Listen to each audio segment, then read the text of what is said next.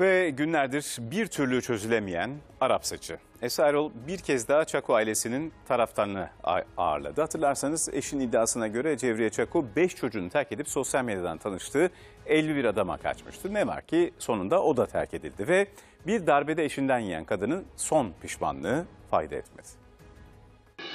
Kaçtığınız kişi Ömer Erdin kaç çocuğunuz var? Yedi çocuk. Seviyor musunuz karınızı? Seviyorum. Eşim olduğunu seviyorum yani. O adamdan kurtulmak için beni yem olarak kullandı. Hayal kırıklığı, canlı yayında yükselen sesler, ortadan kaybolan paralar hem terk etti hem de terk edildi. Sosyal medya aşkı bir yuvanın daha sonu oldu. Cevriye Hanım'la ilişkinizi bitiriyor musunuz? Bitiririm. Boşanacaksın kabul et. Boşanmam. Herkes duyacak ama. Vallahi bilmiyorum. Ben boşanmam ben kesin kararım. Abdülbaki Çaku, eşim 5 çocuğumu ve beni terk ederek sosyal medyadan tanıştığı adama kaçtı iddiasıyla Esra Erol'dan yardım istemişti. Öyle ki evden kaçan kadının uğruna terk ettiği o kişi de 7 çocuklu ve evliydi. Cevriye Çaku her şey su yüzüne çıkınca bir darbede sevgilisinden yemişti. Hem güvenilmez hem sadakatsiz diyelim. Canım da cehenneme.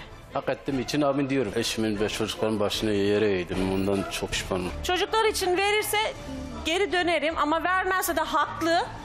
Bu davada sonuna kadar haklı. Boşanmak istiyor da boşanırım da. Sana günahımı dahi vermem ama ne hakkından bahsediyorsun sen? O alıştı daha durmaz. Devamlı gider o artık durmaz. Sevgilisi tarafından terk edilen kadın giderken yanında götürdüğü ailesinin tüm birikimi olan altın ve paraları eşine teslim etti. Bu bilezik bozulurken de zarar, alırken de zarar.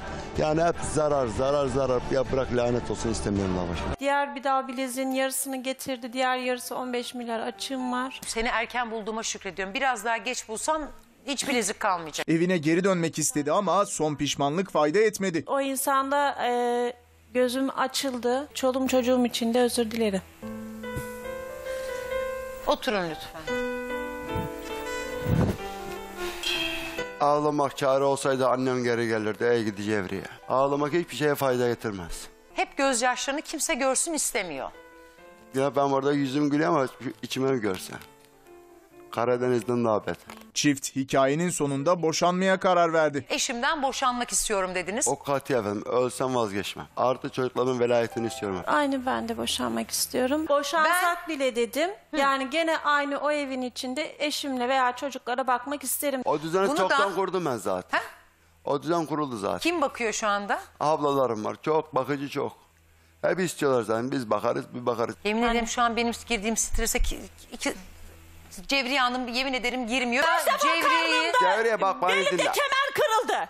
Kaç Nerede? defa Kemer nasıl hamileyken kırılıyor? dayak gidim. şiddet gördüğünde Ulan belinde o sopayı ya, kırdığında Allah Allah. beş çocuğu da o altınları da paraları da alıp kendine yeni bir hayat kuracaktın.